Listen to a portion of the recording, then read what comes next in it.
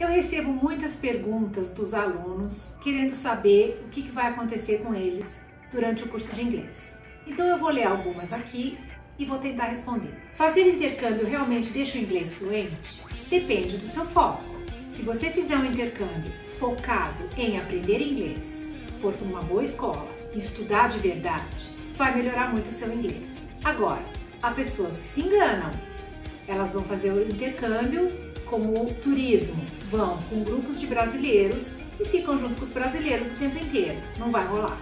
A pessoa não vai aprender inglês. Então ela vai voltar para o Brasil e dizer: Ah, eu fiz intercâmbio e não aprendi.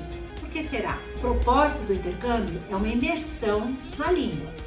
Então, o ideal é que você fuja de brasileiros para onde quer que você vá.